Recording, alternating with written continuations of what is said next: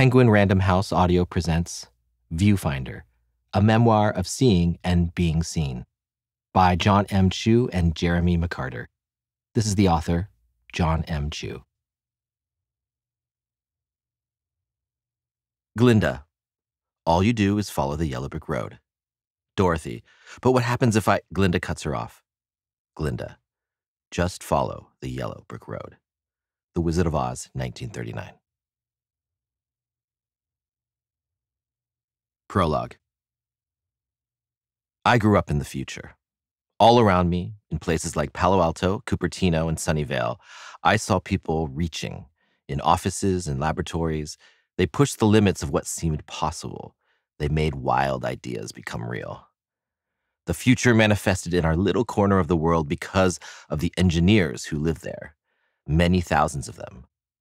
Stanford University was just up the road with its bustling research park so were the offices of NASA, HP, Apple, and Intel. Tech companies sponsored the local Boy Scout troop and our boxcar races. Their logos were on the soccer team's jerseys. It would have felt like living in Wired, except the magazine didn't exist yet. When I'd get homesick during sleepovers at my friend Jared's house, his dad would drive me home in the middle of the night. I knew that his job had something to do with satellites and something to do with maps, it didn't sound more impressive than what a lot of my other friends' dads were doing. Then I saw his face on the cover of a magazine, hailed as the father of GPS navigation. When I say that I grew up in the future, I'm mainly saying that I grew up in Silicon Valley, that I spent the 80s and 90s riding a wave of technological change, getting to see the world as it was going to exist in a few years' time. But when I say that I grew up in the future, I also mean it in another, more personal way.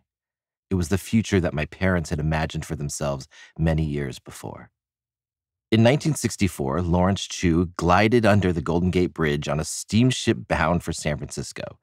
Three years later, Ruth Ho looked out an airplane window and saw California rise into view. Before they met, my mom and dad already shared a vision of what life was going to be more fulfilling and offering more possibilities than the place that they left behind. Taiwan for her, Chongqing, Hong Kong, and Taiwan for him. They tried to realize their dream by opening a restaurant, a lunch counter in a nothing special strip mall in Los Altos, a little town on the peninsula south of San Francisco. By the time I was born in 1979, the same year as the Apple II Plus, Chef Chu's had grown to become a local institution. For mom and dad, as for so many of their immigrant friends and neighbors, the fact that hard work led to security and prosperity seemed like fulfillment of the American promise that had drawn them across the ocean. Main Street USA really might be what Walt Disney and Ronald Reagan told them it was. But security and prosperity were only part of the future that my parents and their friends had dreamed about. They imagined that one day, their as yet unborn children would get to enjoy the full bounty of American life. They'd be able to go anywhere to do anything they wouldn't just live here, they'd belong here. But when you get right down to it, how does a kid actually do that?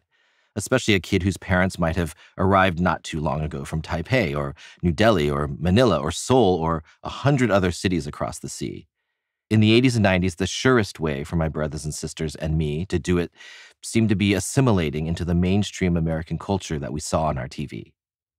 With mom and dad's encouragement, we dressed the part, acted the part, even to the extent we could manage it, looked the part.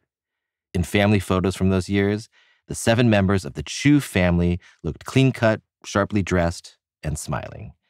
Like Asian Kennedys. Like Americans. No question. It made a pretty picture. When you grow up in the future in either of the senses I've just described, you tend to become an optimist. You find yourself assuming that tomorrow will be brighter than today, Thinking that way can put you at odds with skeptics and doubters, the people who fail to see the promise of every new upgrade or beta release that comes along. Just wait, you say. Just wait. I found myself saying that all the time when I moved to Los Angeles to make movies. Hollywood, around the turn of the millennium, was traditional, nostalgic, and overwhelmingly analog, the opposite of the place I'd left behind. The change was so abrupt, it felt like a form of time travel. I figured out fast that my Silicon Valley origins gave me an advantage, and I pressed it for all it was worth.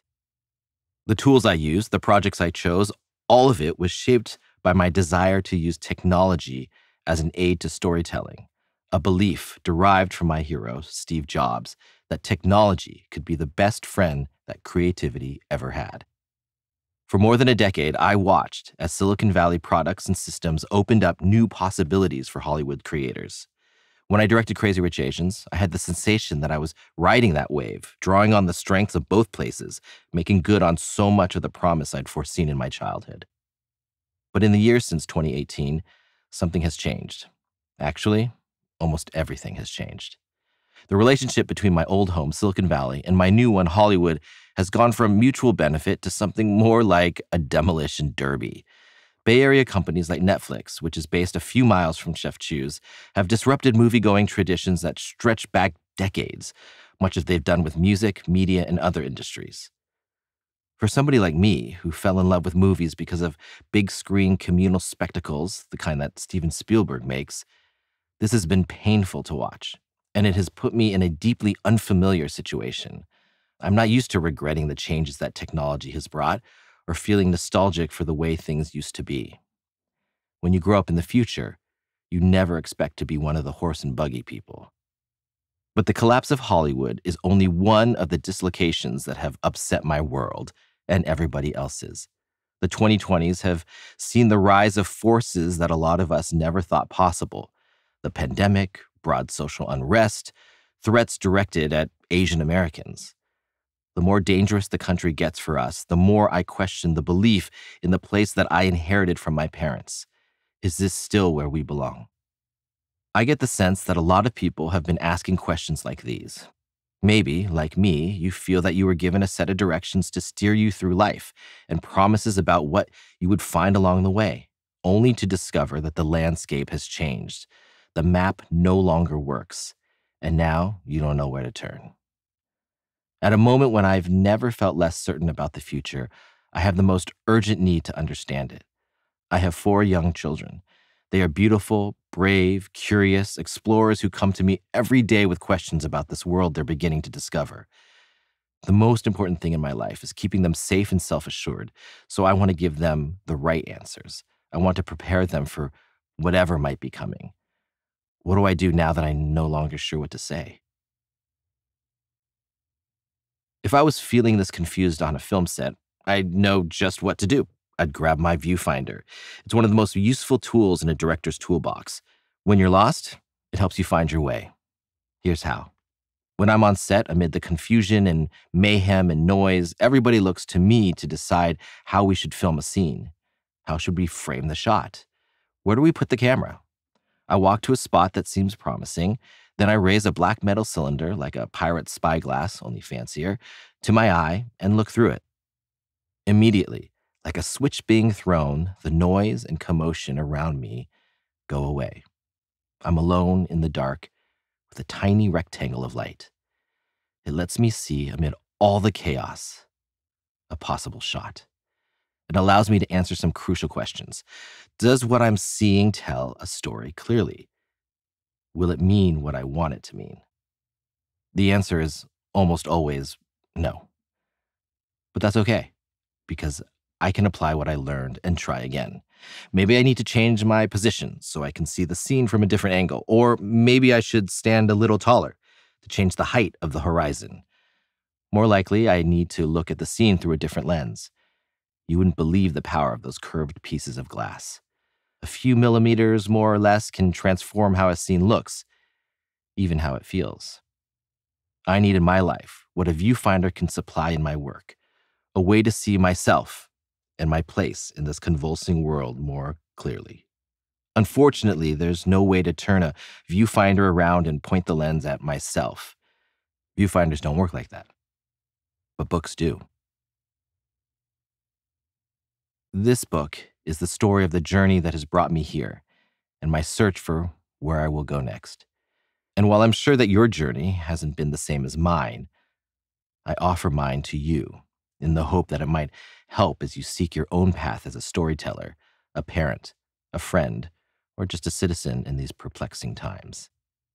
I've been lucky to pick up lessons along the way from other people, from things I've tried, sometimes from mistakes I've made. As the story unfolds in sidebars throughout the text, I'll call attention to some of those lessons. They are tools, too, just as surely as a viewfinder is. The most important lesson I've learned, the one that informs all the others, is that feeling brave isn't a minor consideration. It's the main thing. We hope you enjoyed this preview. To continue listening to this audiobook on Google Play Books, use the link in the video description.